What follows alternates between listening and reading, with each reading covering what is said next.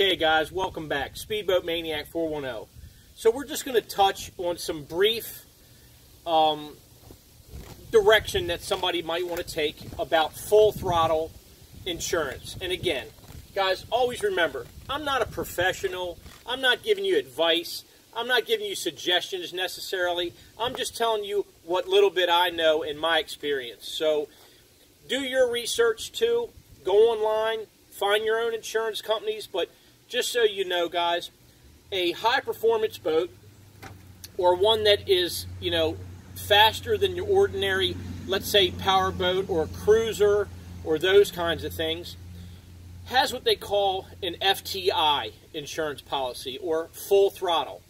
Full throttle insurance. Okay, it's for high performance boats that are not just your ordinary boats. They run faster, like 80, 90, 100, up to 200, 220 miles an hour. Some of these uh, insurance companies will insure these high performance boats that are super expensive. So basically, what you want to do is you're going to need a survey for your boat, a current one or one that's probably six months or a year old, in order to get um, the insurance company for an agreed value of your boat in case there's a total loss. Okay, you're going to need to do that. Number two, you're going to need to pick your deductible. Obviously, the lower your deductible, the higher your premium. The higher your deductible, the lower your premium. So you have to take into consider what you want to do for your own circumstance in case something happens or an accident or there's a total loss for your boat or whatever happens that you're going to be able to come up with the deductible money to pay it first before an insurance claim can even be taken care of from there on out. Um, the layup period, okay? Not in all parts of the country, obviously, or the parts of the world for that matter.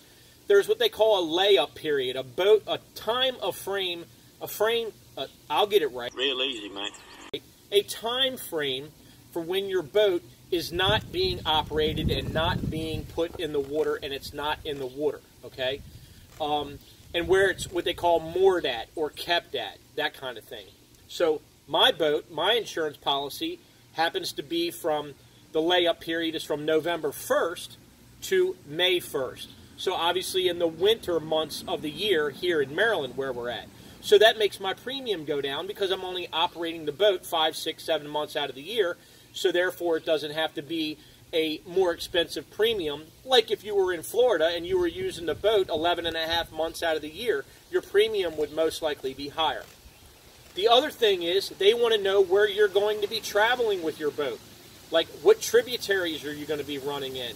This particular boat, mine, is the Chesapeake Bay and the tributaries that run north of it and are, obviously all attached to it, and not south of a certain point in Virginia. All your declaration policy information would be in there when you agree to that with your insurance company.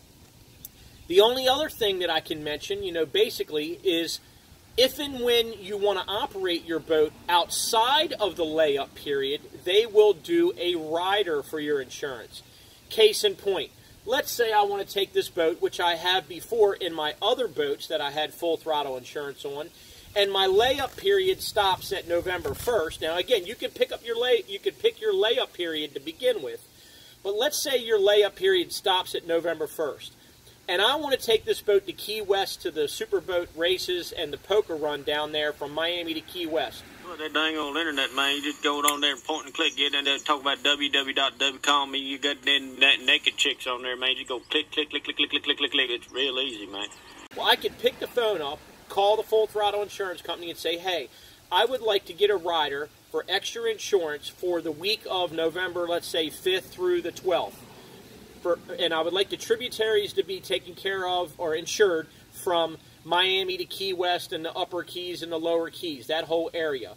And from what I remember, like my 35 foot boat, it was only like 300 or 380 dollars for that actual rider. You know, um, so it wasn't that much more expensive to have those riders put on. It's important because if something happens outside of your layup period or outside of your tributaries that you're running in, just like ordinary boat insurance, it's not going to be covered. But we're talking about full throttle insurance. They're going to want to know how fast your boat goes, top speed. So you have to disclose that. And listen, you know, the motors and what the motors are, the outdrives. They're going to want serial numbers for the motors. They're going to want serial numbers for the outdrives and that kind of thing. So it's not just an agreed value. They do have to have some other basic information in case something happens and there's a loss. But basically, you know, there what was that five or six items to kind of keep track of. Click, click, click, click, click, click, click, click, click. It's real easy, man. Uh, for whenever you're looking for what they call full throttle insurance, high performance boating insurance, not your ordinary insurance through the ones you see on TV and all those major uh, brand insurance companies. They do insure boats, but not high performance boats that have you know a higher speed to them. So that's pretty much it, guys. I appreciate you guys coming along. And look, we brought our good friend Doug Mooney. He hasn't been on the show for a good couple, three months. Shoot, for that matter, I haven't been on the show for a couple, three months. But we appreciate you guys coming along. And we're going to get back out on the water as soon as we get this empty tailpipe right here uh, put in and installed. And we'll be back out on the water and we're going to give it a shot again. And you guys will be right there with us. So if you like this video and it didn't bore you to death, give it a big old thumbs up. Subscribe if you haven't subscribed already. Tell a friend and share it with a friend. Comment down below and ask any questions you'd like to or rib me a little bit. I appreciate you guys coming along. As always, Speedboat Maniac coming at you guys. And to your family and to you, always, God bless.